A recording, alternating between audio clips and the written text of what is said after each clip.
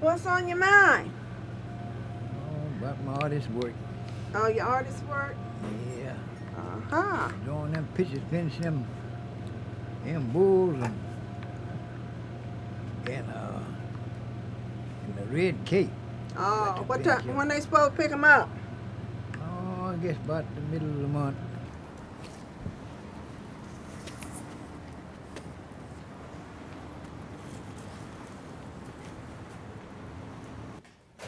Let, let him, what, what? See if he's done yet. Hey, Lee. Grandpa, where do you want him to put this board? He's got- Right here, right here, Lee. Lay it on the table here. That's a nice fresh one, huh?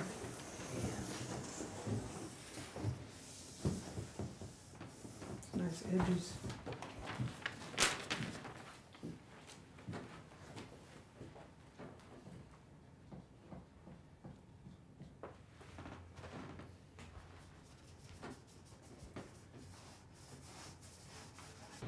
I'm happy to be working all the time. Yeah, Keep well, them off my mind. Keep the problems off your mind? Mm-hmm. Not particularly the Keep girl the... problem, just problems, huh? Yeah, I got so much. I know it. That's what life's about, ain't it? What do you have up here?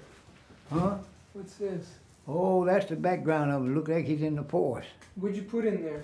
Oh, paint and and and and and and and, and, and meal. I got- got a bucket of meal. Good. You mean the cornmeal? Cornmeal. I sprinkle that over and then the spot with the brush. Yeah, that's beautiful. Yeah. Here's one with collage here. Yeah. That's beautiful. Who's that? Uh, uh, That, she laying in the laying in the mother's lap. I look my picture. You remember that, don't you? Oh yeah, that's the uh, what do you call it? The nativity. Now I ain't draw these here. Now them the one I intend to draw for you. This is a beautiful painting. I have Oh yeah, yeah, yeah, yeah. Yeah, It's on the road. That, that, that. Are you girl. gonna make the zebras here? Hey, look at that. Look at that over there. Oh, now this is the one over here. You just got to looking at it. Now I ain't finished with that. I got to put books down there. Where are you gonna put Uh, books? Right down there under under arm. See the white little spot at under arm? It'd be a bunch of books laying in the lap. I ain't gonna sell nothing in New York that I can't sell. And I think about great things. So when you're on a vacation, going there, you see something wonderful. See a great picture. Something what the other man can't draw. Always try, try to draw something that interests the young generation. I'm happy to be living. When I get up every morning, I look out there and I see that pretty sun. I say, oh, Lord, I'm living another day. Thank you, Jesus. I go out there and look up at the sky. There and look at my window. Look at them big, pretty trees out there. That's the kind of man I am. I'm happy all the time, to make y'all happy. I don't live for myself. I live for to make the other people happy while I'm on earth. I guess that's the reason I'm living so long. Is that a new brush? No, don't you know new brush. A new brush ain't worth a dime. yeah. You mess up on a new brush. Why? New brush you can't you can't dab down like that. It's spread. You know that? Yeah, a new brush would spread. I got a little tail on that. Now you know what I do? I just hit on it. Put some some in there now. Make it look like a tornado hit. Tornado hit that. Tornado hit this Yeah. here. Right. This black cloud. You know what? That's in an old cloud, you know. So if, if some of the people come by and look at the paintings and they say, how'd this man become an artist? What, what do you want me to tell them? Tell them I was born an artist. I've been doing everything which you have to go to school for.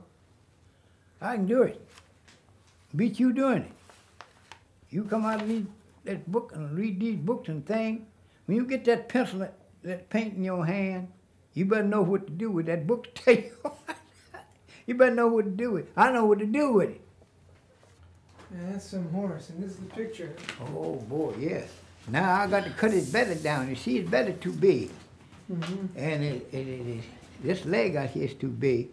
I'll cut that belly, slope that belly off there, and that big range on his leg there, and look perfect.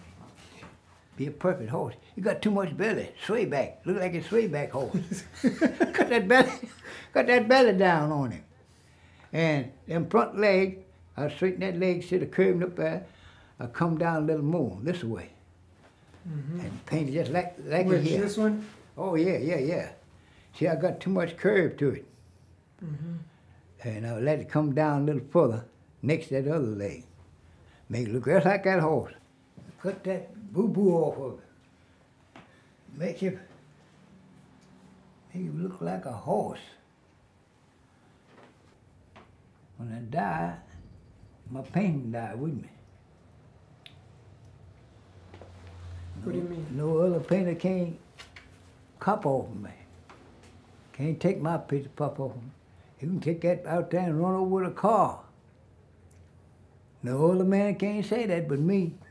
Run over that painted car, bring it back in, wipe it off, hang it up on, sit it in the museum. Walk on it. As long as you ain't got no spots on your feet, walk all over it. This is a dog chasing a stag, and it's it's a real expressionistic type of thing. But then he'll do something like all of this excitement of paint in in the running dog. Mm-hmm. I mean, he's never just giving you shapes and and storytelling and everything. He's really always painting. Yeah, how you getting along there, son? Okay, brother Hawkins, how's everything? All right. That's good. Yeah, the boys taking pictures of me. That's good. Ain't that fine? Okay.